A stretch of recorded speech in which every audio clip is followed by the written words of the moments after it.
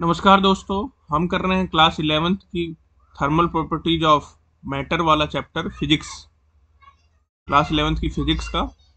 हमारा क्वेश्चन है, the graph between two temperature scales A and B is shown in figure 11.1 between the upper fixed point and the lower fixed point there are one fifty equal divisions on scale A and hundred on scale B the relationship for conversion between the two scales is given bye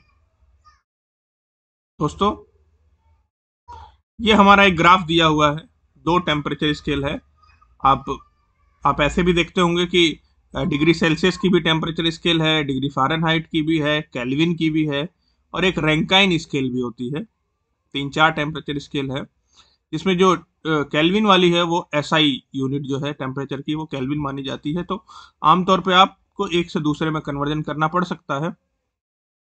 यहाँ पे देखिए दोस्तों, कोई temperature scale B है, ये x axis पे, और कोई टेम्परेचर स्केल ए है, ये वाई एक्सिस पे।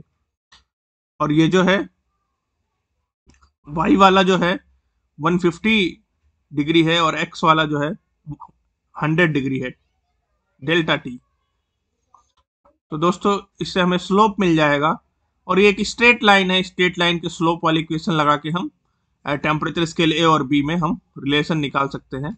ये दोस्तों एक्स एक्सिस है, ये वाई एक्सिस है, आप जानते ही हैं।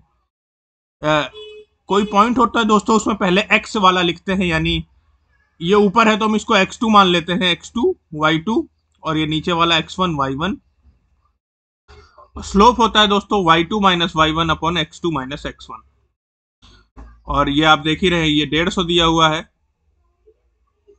ये जो वाई वाला है, डेढ़ सौ दिया हुआ है, और एक्स वाला हमारा सौ दिया हुआ है तो स्लोप हो जाएगा डेढ़ सौ बटे सौ। और y2 की जगह दोस्तों, और x2 की जगह हम टेम्परेचर वाला रख देते हैं ताकि फिर हम कोई भी टेम्परेचर रखें तो हमें वैल्यू मिल जाए। X2 जो है वो, ये टी वाला है, और y2 जो है वो टी ए रख देते हैं।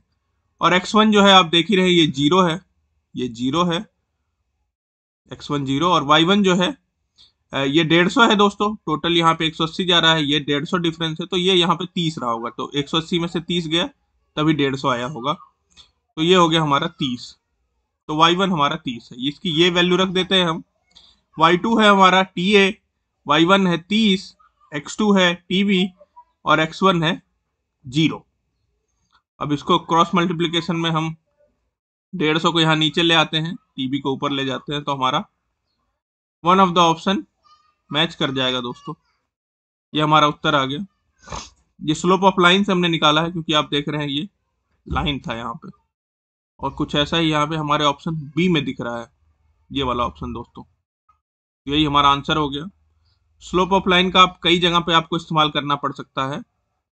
ये होता है दोस्तों slope equal to Y two minus Y one upon X two minus X one इसका इस्तेमाल करके आप इजिली कई सारे क्वेश्चन या पार्ट ऑफ़ द क्वेश्चन कर सकते हैं।